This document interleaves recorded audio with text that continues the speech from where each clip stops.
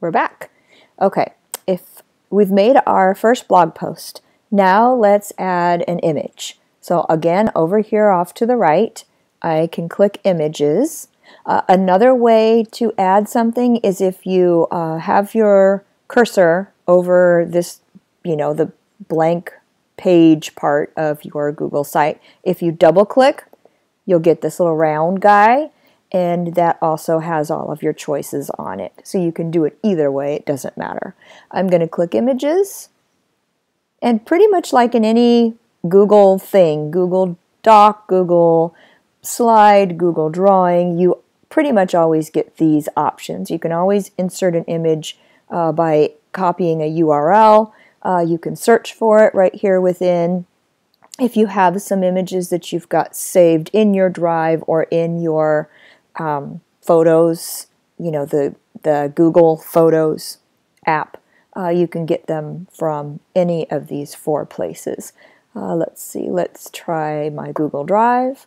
Uh, click Recent, because then the most recent things pop up pretty quickly.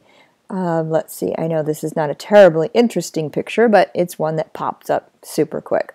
Um, it was um, just a little background. We're talking about trash and litter and how it gets out into the ocean. That's why I have this funky picture of a piece of trash in front of a storm drain.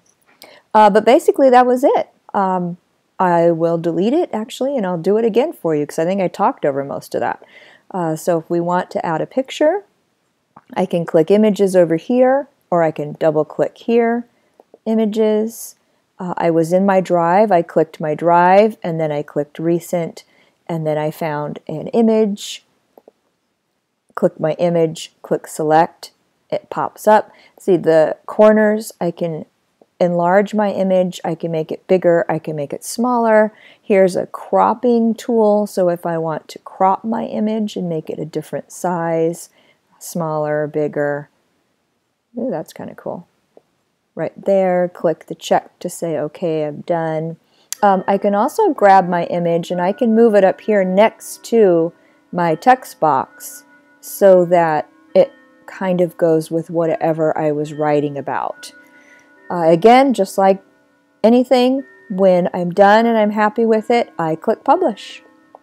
And that's how you insert an image into your new Google site.